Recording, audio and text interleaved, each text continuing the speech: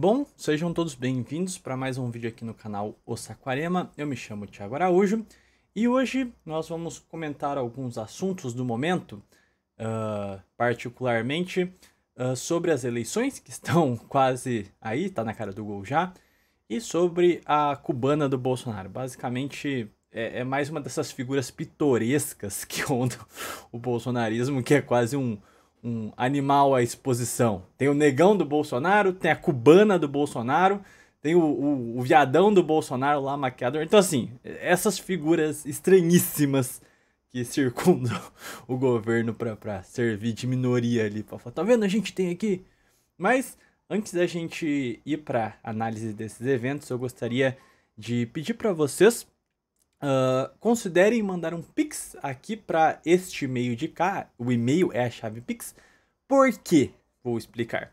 Uh, a academia qual eu frequento fica numa avenida movimentadíssima aqui da, da minha cidade, São José dos Campos, uh, num bairro, Jardim das Indústrias, que é um bairro de classe média, média alta. Então é um ponto muito interessante. E a Academia Forma Física autorizou que fosse hasteado uma bandeira imperial lá, definitivamente. Então vai ficar lá para sempre. bom, primeiramente eu gostaria de agradecer o João, dono da academia.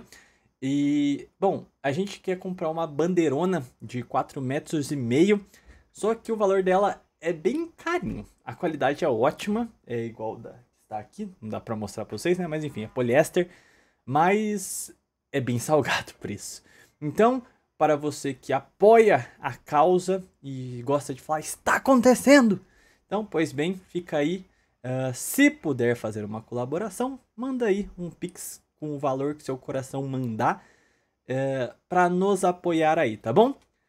Então, sem mais delongas, vamos à vaca fria. E eu gostaria de dizer que isso aqui é uma análise não muito convencional aqui para o canal. Uh, e eu gostaria de pedir certos. Certas tolerâncias e certos compreendimentos das minhas posições com base no que a gente vem conversando aqui no canal. Então, toda a minha análise política ela parte de dois princípios que existe uma hierarquia entre eles. O primeiro, a civilização brasileira ser católica e, lógico, o princípio a qual eu já, já falo aqui há um bom tempo, a fidelidade a pátria eterna e, em segundo lugar, a pátria terrena. Ou seja, a nossa posição quanto católicos é, é superior à nossa posição quanto brasileiros. Afinal, e no caso brasileiro, uma coisa leva a outra. Somos brasileiros porque somos católicos, vista a nossa história.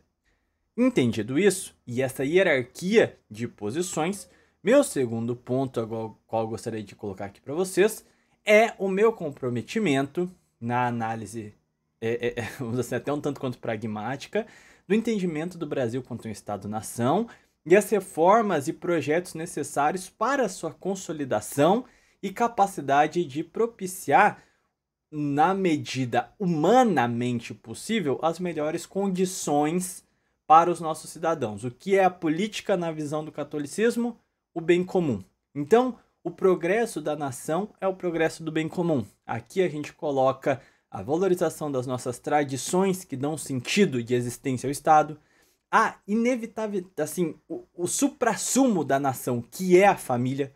Então o Estado deve ter por base os preceitos da fé que nos fundou e do apoio total à família e o combate ferrenho a qualquer princípio que viole esta esse essa célula básica, eh, pilar básico do Estado Nacional, que é a família. Então, seus agressores também devem ser violentamente, em sentido figurado, tá bom? Reprimidos e não devem ser estigados tais comportamentos pela própria manutenção do Estado Nacional. Então, com base nisso, eu gostaria de primeiro salientar o perigo do neoconservadorismo. Uh, a cubana aí, que eu nem vou citar o nome, na verdade eu nem sei o nome dela e também não sei se ela é processinho, então não vou citar. Então me referirei à figura apenas como cubana do Bolsonaro. Não é a primeira vez que ela faz comentários do gênero.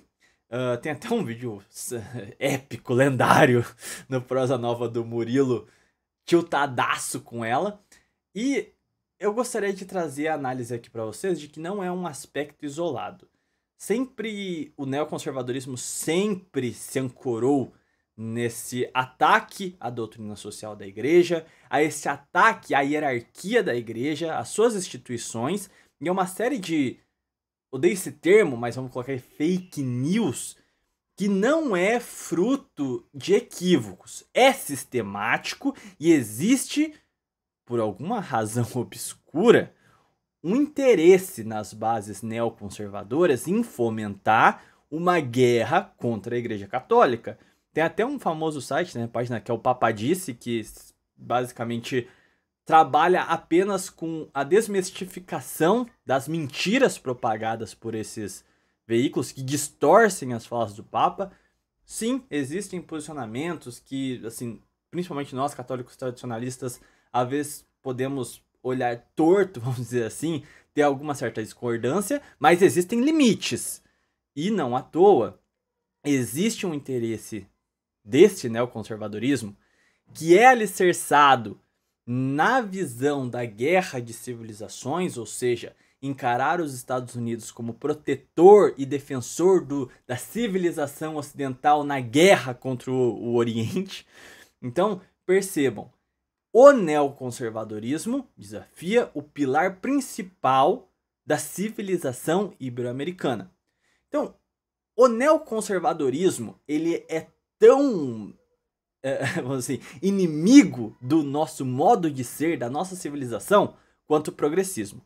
É a segunda face uh, do, do, dessa guerra híbrida que as nações ocidentais né, aplicam contra as nações em desenvolvimento e, particularmente, contra as outras civilizações.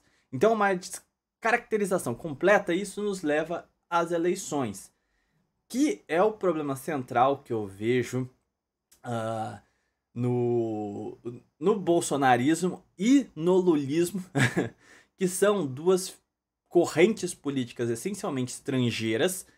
Não dá para esquecer o lobby fortíssimo pró-sionismo do Bolsonaro, o fato de já ter batido continência para a bandeira americana e já ter andado hasteando a bandeira de Israel e dos Estados Unidos no Palácio do Planalto. Então são posições que não tem como defender.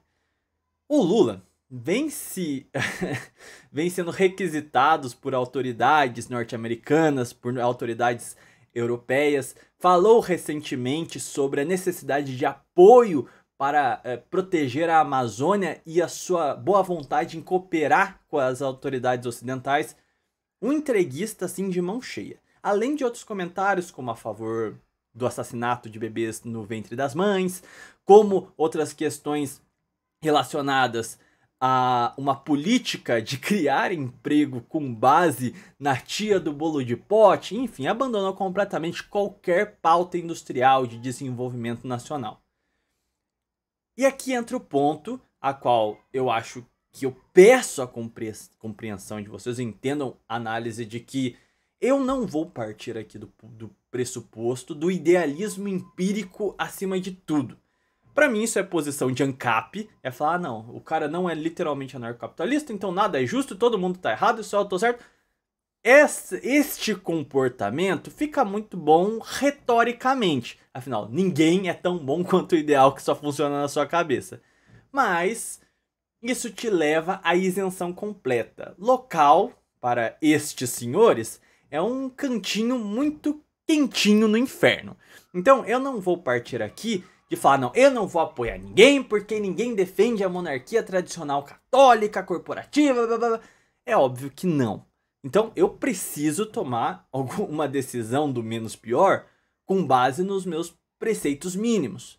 Então, se eu não posso utilizar, dentro daquela hierarquia que eu comentei com vocês no princípio, um, um candidato que representasse as pautas que eu acredito, e que entenda a pedra angular da civilização brasileira ancorada no catolicismo, então vou para a minha linha de segunda mão da análise política, que é pelo menos a defesa da pátria terrena.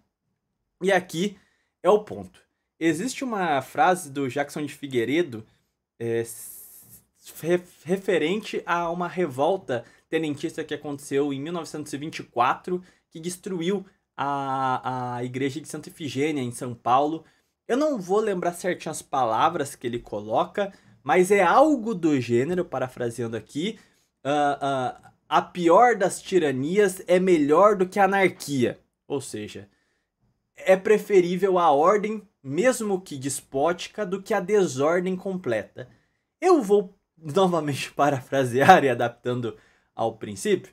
Eu prefiro um projeto que se assemelha ao que eu acredito do que a negação, a não existência de projetos.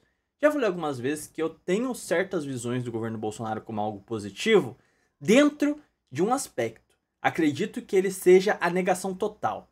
Um governo disruptivo que deslegitime todas as instituições. Ele causa uma confusão institucional que deslegitima qualquer projeto político. Não tem como é, vamos colocar em língua genérica aqui, a república se manter com o chefe do poder executivo, assim, causando uma grande confusão social sobre as funções de cada poder. Então acredito que ele possa ser esse governo que escancare o quão ridículo é o estado atual de coisas.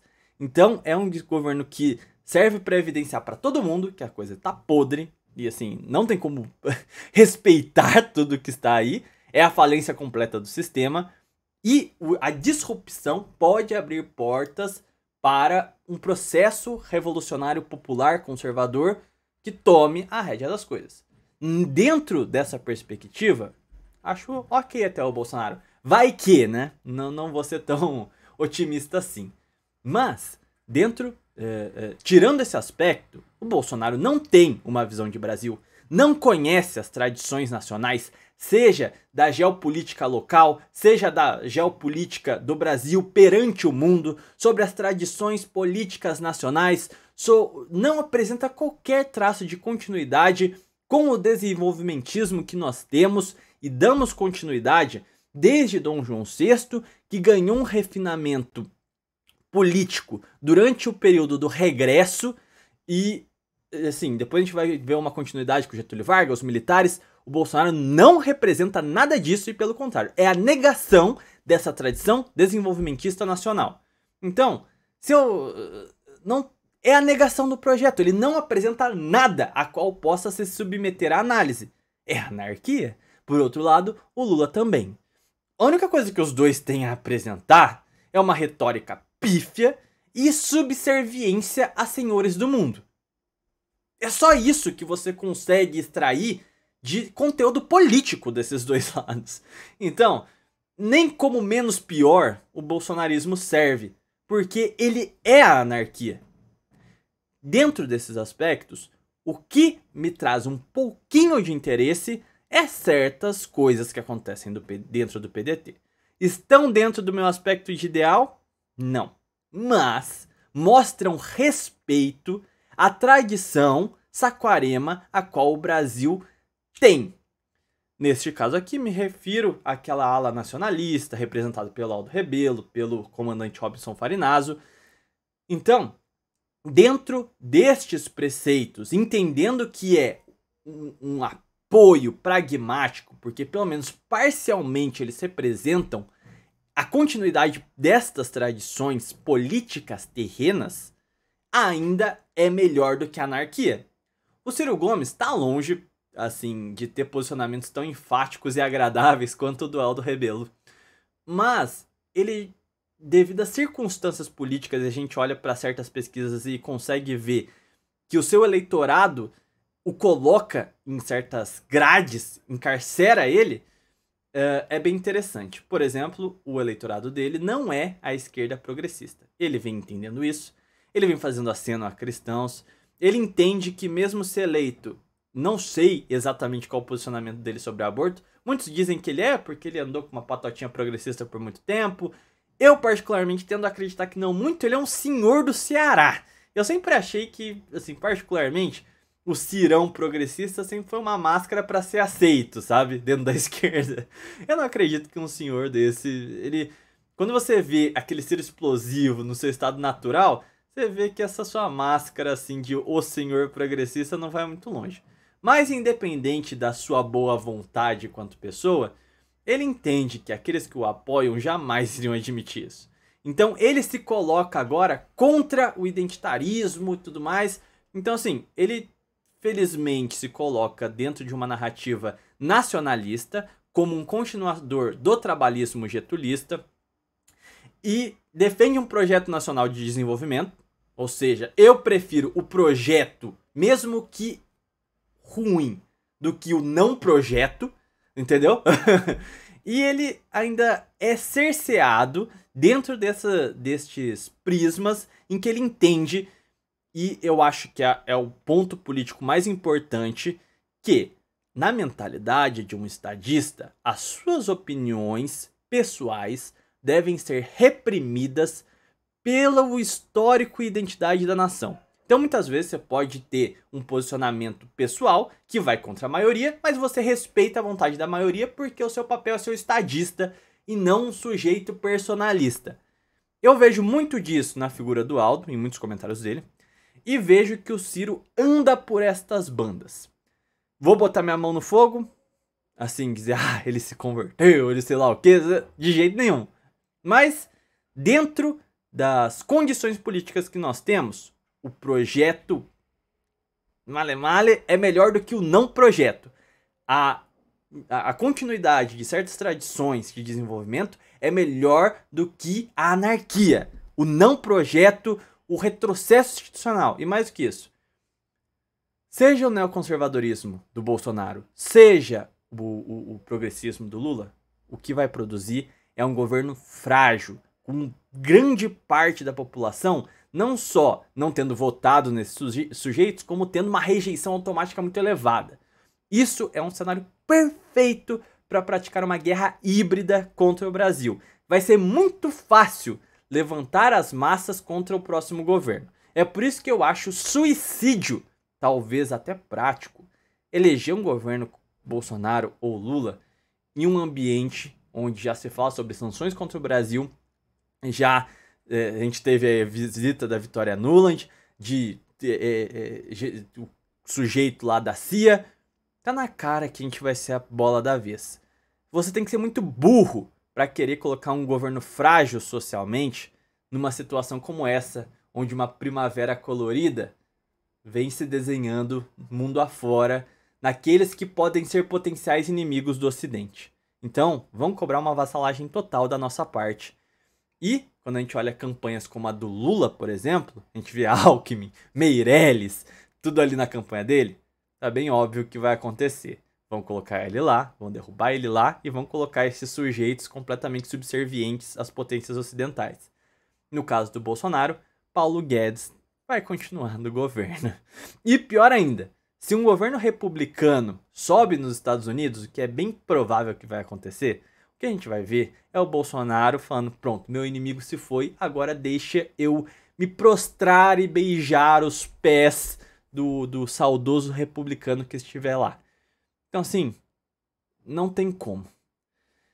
Bom, é isso aí. Eu espero que eu tenha. Bom, é uma situação muito complicada, cara. Pisando em brasas aqui. Eu vou me lascar de qualquer jeito.